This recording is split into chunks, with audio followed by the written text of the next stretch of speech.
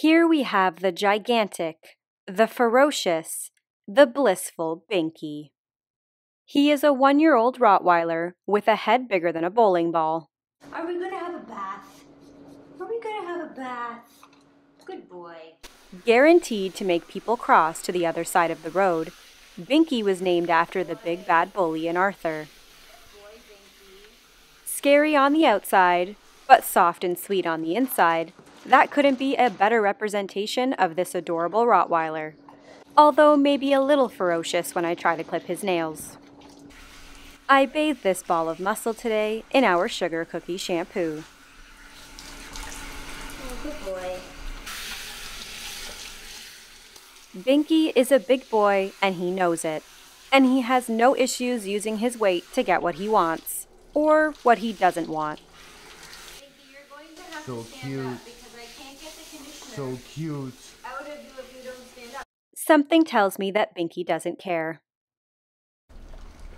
Mmm. Good boy. It's a good thing that I now have extra large happy hoodies.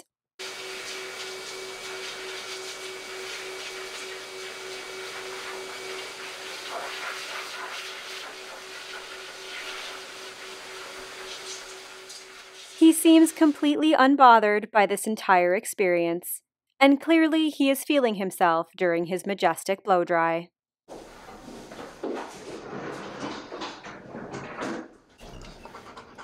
First, I de-shed him with the Equigroomer, but he wasn't losing enough hair.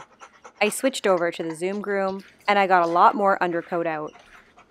This is why I have several different tools, because each dog, even ones of the same breed, might require a different brush. Since Binky does not approve of standing, I clipped his back nails with him sitting. At first, he seemed fine, until he remembered that he is a Rottweiler, and most of them don't like having their nails clipped.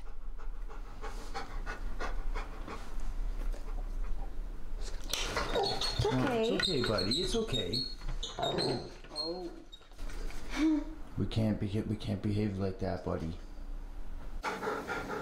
We don't want to get bit by a Rottweiler, right?